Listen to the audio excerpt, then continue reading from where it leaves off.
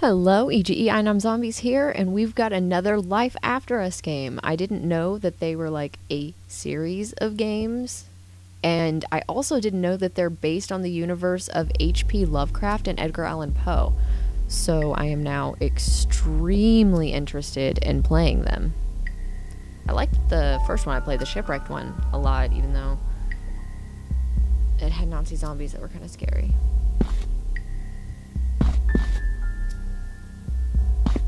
Sweet. So this one is supposed to be like in a sanitarium, and you're looking for some chick who's like insane and returned here, because this is where she used to like stay.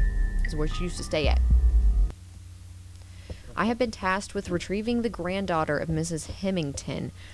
I have been told the girl is in her late 20s, but due to her men- mental illness, she has the mind of a child. She is believed to have returned to Hawthorne Sanitarium. Oh, no, yeah, Sanitarium, where she was once a patient.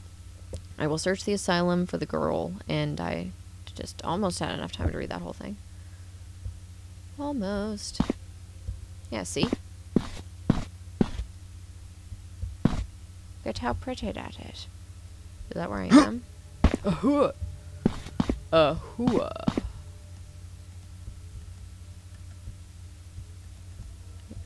What kind of happy horse shit's gonna happen here. Why won't this? Is it not openable? Whatever. I'm gonna assume you just can't open it then.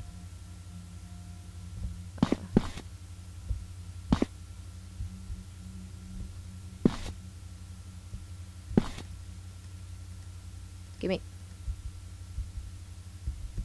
Oh. I made a new friend today, Dr. Tar. He says I'm very pretty. He kept touching my hair. He must really like it. What she said. I totally likes my hair. Mmm. Mr. Teddy? Is that what that says?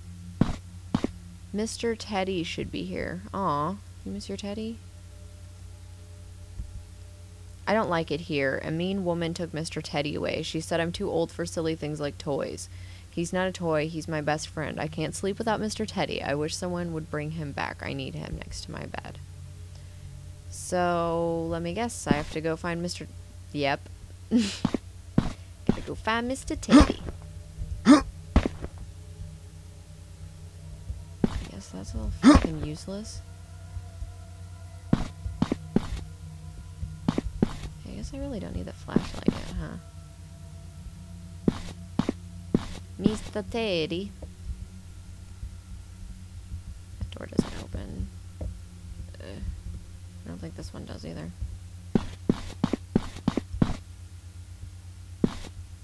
Mr. Teddy! Oh my god. Dr. Told, Tar told me to meet him in his office and said not to tell anyone. He put his hands on me and touched me and smiled. I didn't like where he was touching me, but he said it was part of an examination to make me feel better. Aww. This poor girl needs Mr. Teddy real bad. I, I'm like terrified that the lights are just gonna shut off at some point. Mr. Teddy.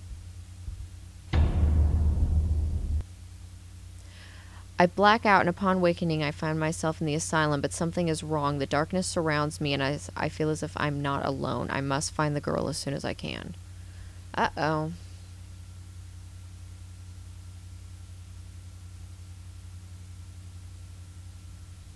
Do, do, do, do, do, do. Val Rio? Okay.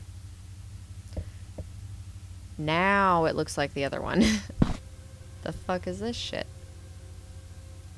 That is beautiful charcoal artwork there. Really dig your style though. Dr. Tar told me I'm very pretty and what? I'm very pretty and that I'm not a girl. He said little girls don't look as pretty as I do. He says I'm oh, I'm a woman. Well, I mean technically she is a woman, but she don't know that. Oh, what? Can I not sprint now? Or can I only sprint sometimes? I don't understand. Is what is strange substances on them there floors. It's like the same hallway I was in, that right? Dr. Tar told me, told me came to visit me at night. He kept saying I was very pretty. Then he got in the bed and on top of me. He kept telling me not to make any noise, but it hurt. He got mad when I shouted in pain and he hit me. He visits me every night now. Um, he wants me to be pretty. Journal entry, make me pretty? Do I have to find clothes for it? He gets mad if I'm not pretty, pretty, pretty, pretty. This poor girl has been trifled with for too long. Let us make her feel beautiful. Whoa. Some beautiful art in this asylum. Patients really know what they're doing with the brush. Why is it? What? Ooh. That's weird. Whatever.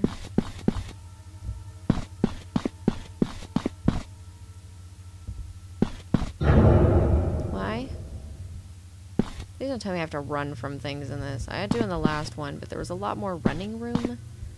Now they ain't shit for shit. He gets so mad if I'm not pretty. He said he says my head is so small and pretty. I started bleeding after he came to visit me last night. Wish I could go home. Ah. That sucks. I feel like sad for her in her shitty disposition in life. Is this open? I can't even fucking get to it.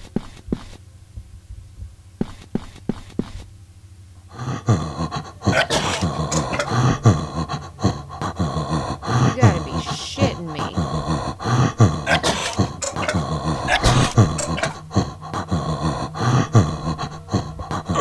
What is this? Who the fuck are you, get back son? I guess I just can't attack him. Oh my god. This is gonna be shitty. I told the doctor I keep getting sick in the mornings. He got so mad when I told him that he hit me in my belly. Yeah. Because he's a fucking idiot. For a doctor, he doesn't know much about fucking anything, apparently. Oh, is that how I have to make her pretty? Seriously? Fuck me. Running. Jesus. That is just. Ugh. Shit's creepy. And I'm tired. And I don't want that guy to freaking uh, at me again.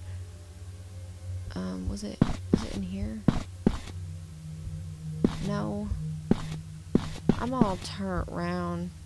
Was it? No. I don't want him to come back. Before I find this fucking deck.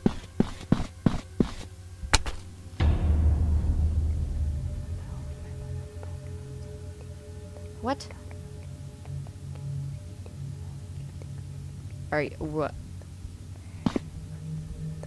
Uh, fucking... Why don't they give me weapons in these games, ever? I played Life After Shipwrecked again, and I found a shotgun somewhere, so they exist. I didn't mean to hit the mic, I'm sorry if that was loud.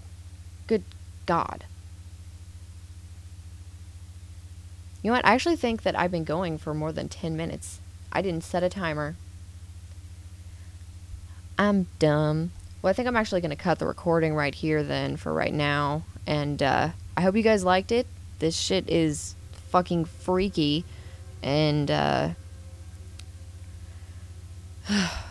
I'm still like in the process of having a heart attack from that fucking doctor and that guy. Anyways, thank you guys for watching so much. Please leave a like, subscribe, check out the other people on my team, all the stuff in the description. Peace out.